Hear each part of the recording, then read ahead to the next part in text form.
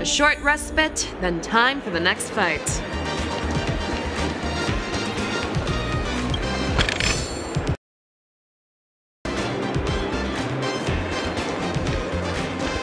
The club is recruiting new